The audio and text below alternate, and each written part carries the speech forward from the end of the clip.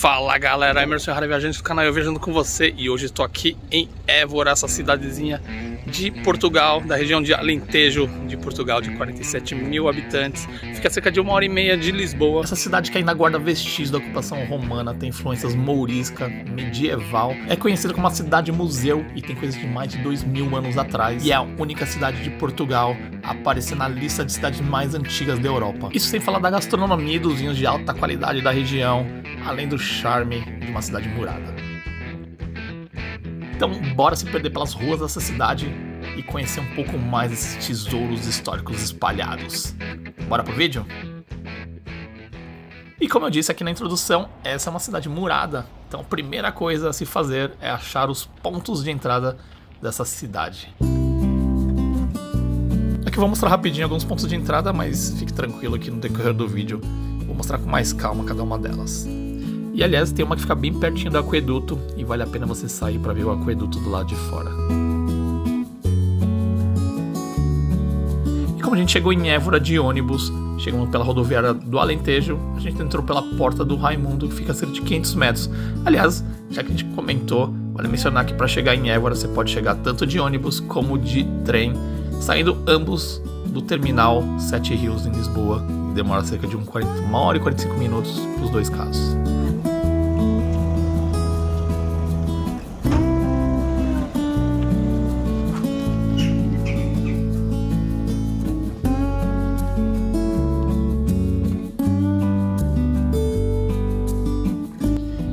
Preciso falar que uma das maiores dicas é você se perder pelas ruas dessa cidade, né? Até porque na verdade a gente estava perdido mesmo. A gente tinha acabado de entrar na cidade estávamos procurando os principais pontos turísticos. Então já serve de turismo mesmo quando você está perdido.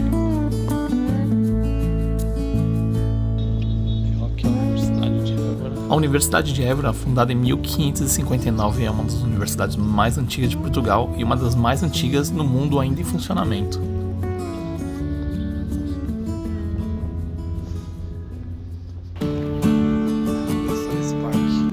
E do ladinho ali da Universidade de Évora, olha só que a gente encontrou um lugar bem legal, Jardim Público de Évora.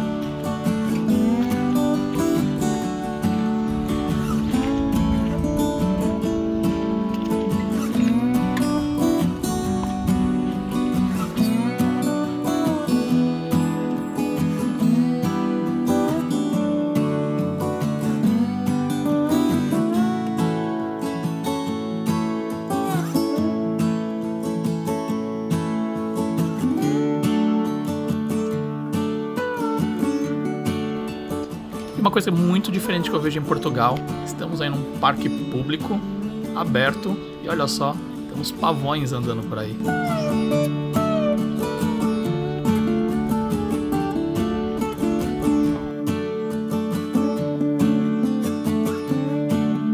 Andando pelo parque, olhando para os pavões, achamos uma passagem secreta aqui.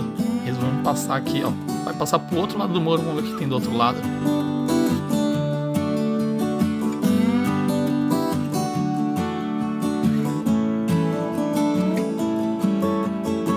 Outro lado do muro continua o parque. Aliás, essa é uma forma de entrar aqui, ó, para dentro da cidade murada também.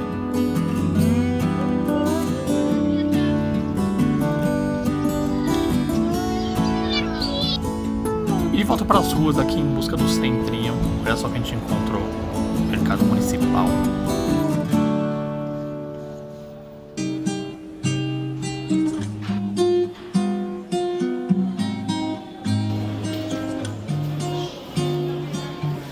Chegamos aqui no mercado municipal de Évora, mas parece um mercado bem pequenininho aqui. Não sei se a gente chegou muito cedo, mas é um mercado municipal bem sem graça, tava quase tudo fechado ou vazio. E olha só, achamos alguns peixes aqui, só título de curiosidade. Vamos ver o preço já. E falando de curiosidade, quem já viu e quem já comeu peixe espada? Tem gosto de quê? Deixa aí no seu comentário. Que peixe é esse? Nossa, nunca vi isso. Olha só que curioso. Essas barraquinhas aqui, eu não sei se a parte interna estava vazia, porque justamente as barracas internas elas foram pro lado de fora. Pode ser, não sei te dizer. Mas hoje essa parte externa estava mais movimentada. E logo atrás das barraquinhas do mercado municipal, olha o que apareceu. Igreja de São Francisco e do lado ali tem uma portinha que vai dar para a Capela dos Ossos.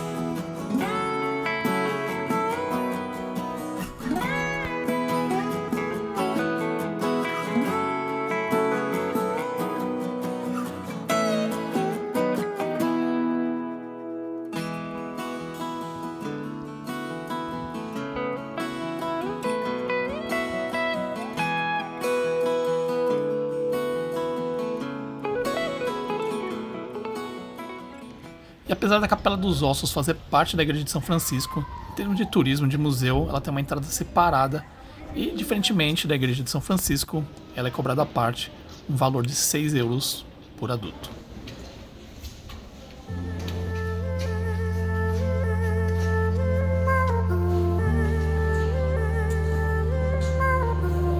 Nos ossos que aqui estamos, pelos vossos esperamos. Essa é a frase que tem na entrada da Capela dos Ossos, que traz a reflexão da transitoriedade e da mortalidade da vida humana, da impermanência da existência e a importância de aproveitar cada momento.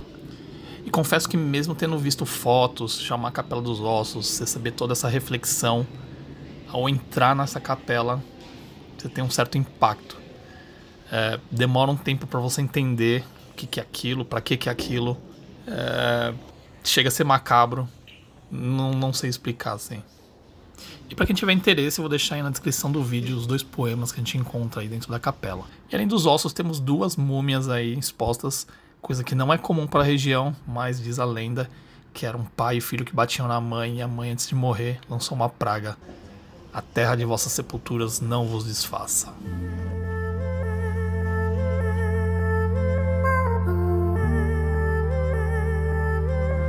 Apesar da entrada da capela ter uma data de 1810, essa capela foi construída mais ou menos no início do século 17.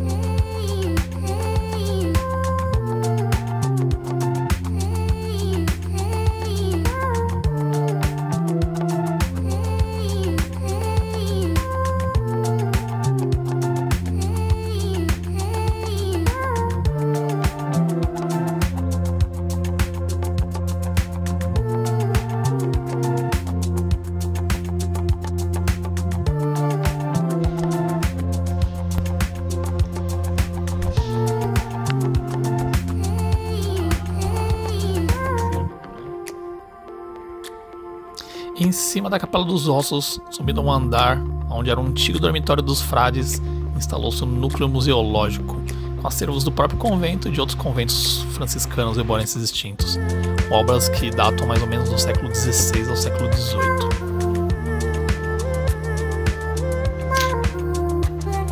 E mais uma coisa inusitada é a coleção de presépios que a gente encontra lá.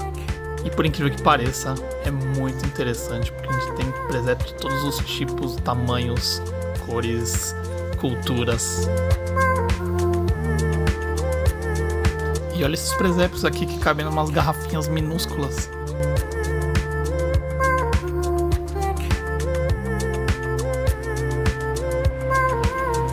E passando de um lado para o outro no museu, caímos aqui numa área externa e olha a surpresa. Uma vista bem privilegiada de Évora. Dá até para procurar aqui onde a gente vai comer, deixa eu ver a pracinha. Ah, e olha só a Catedral de Évora, ou a sede Évora. Com certeza a gente vai passar lá. É um dos pontos principais daqui. E olha só que temos aqui um relógio de sol. Quem já viu um?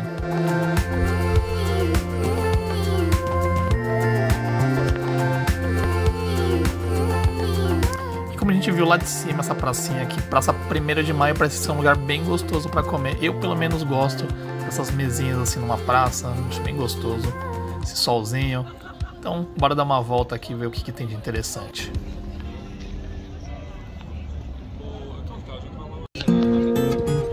Quiser ver os preços do cardápio, eu vou colocar aqui rapidinho. Vocês podem dar um pausa no vídeo, ou se vocês quiserem, eu posso colocar no meu Instagram. Deixe o seu comentário aí. E nós acabamos parando no restaurante da foto do último cardápio, o restaurante Repas. Olha que gostoso esse clima. E acho que esse vídeo tira um pouco a minha memória, porque não lembro exatamente o que a gente comeu, mas eu acho que foi a carne de porco alentejana e o bacalhau à moda da casa.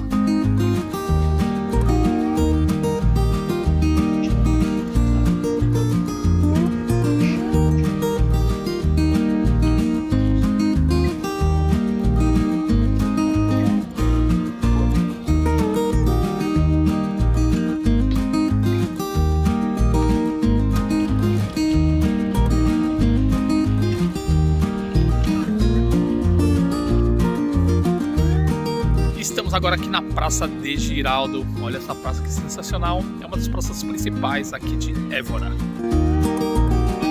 E apesar do edifício do Banco de Portugal parecer ser bem antigo, ele é do século XX. Foi construído entre 1907 e 1911 com o arquiteto Adães Bermudes. Mas vamos falar da praça propriamente dita. A Praça de Giraldo é o coração do centro histórico de Évora, aquele lugar onde todos os caminhos vão cair nele. E como não podia deixar de ser, temos também restaurantes, cafés, mesinhas no meio da praça, bem gostoso. Porém, os preços eram um pouquinho mais salgados do que a gente encontrou ali na Praça 1 de Maio.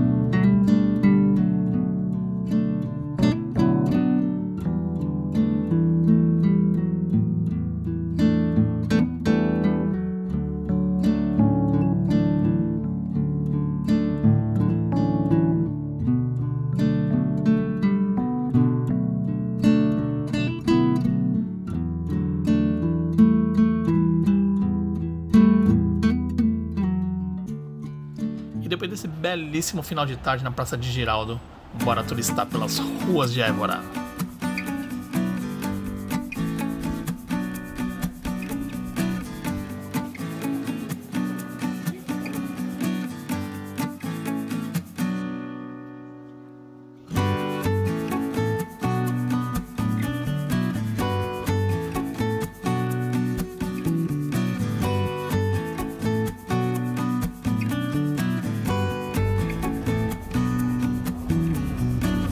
Estamos aqui na Praça do Sertório.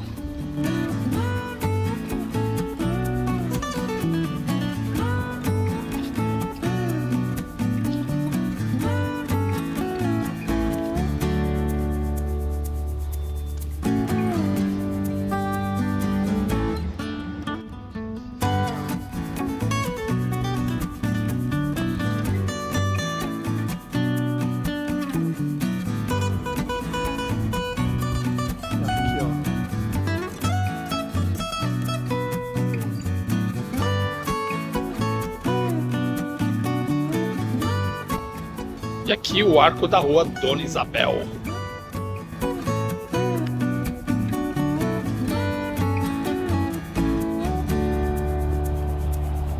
Passando o arco da Dona Isabel ali, ó. Viramos à direita, frente ao Templo Romano.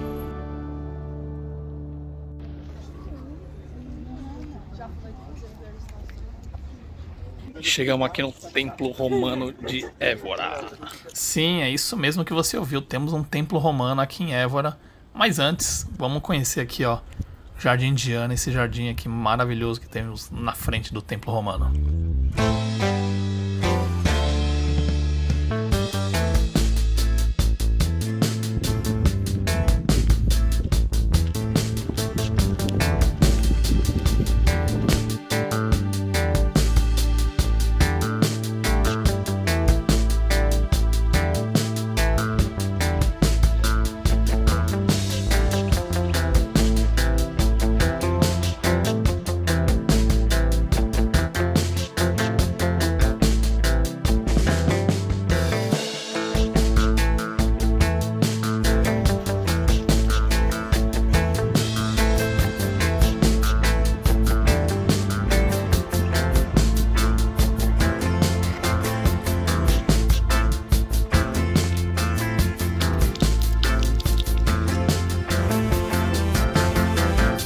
ver uma menina bebendo água aqui, ó. Daqui, eu não sei se isso aqui tem alguma relação. A fonte do amor aqui, ó. Bebeu a água, vai trazer o amor. Não sei. Porém, quem quiser tentar, fique à vontade.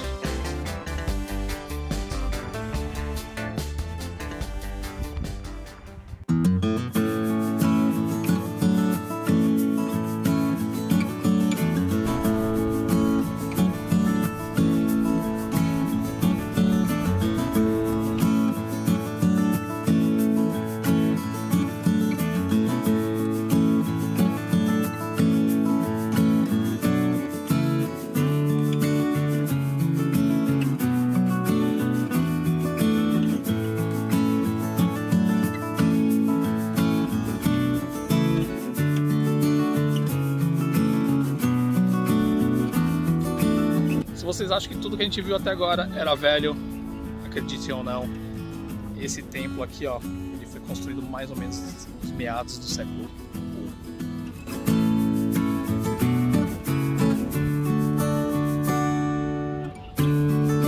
Aqui do lado aqui, ó, Igreja de São João Evangelista ou Igreja dos Lóios. E aqui a pousada dos Lóios. Tudo isso aqui, ó, faz parte complexo que chama Castelo Candeval.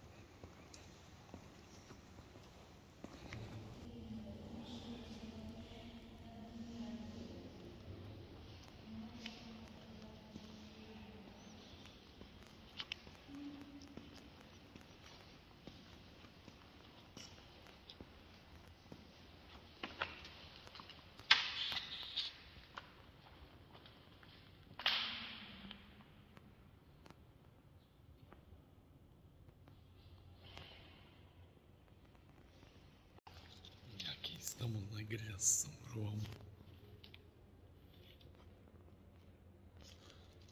E aqui estamos no Palhaço.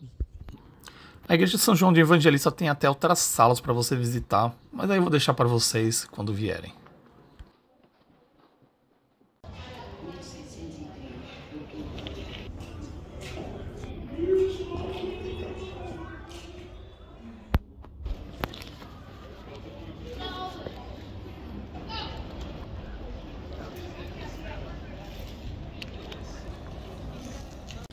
Aqui temos o Mirante de Diana, uma praça bem legal ali com o mirante ali. E atrás, não sei se vocês conseguem ver, temos a Sé Catedral aqui de Évora, que é sensacional. Mas antes de ir para a Catedral de Évora, bora tomar um sorvetinho que ninguém é de ferro, né?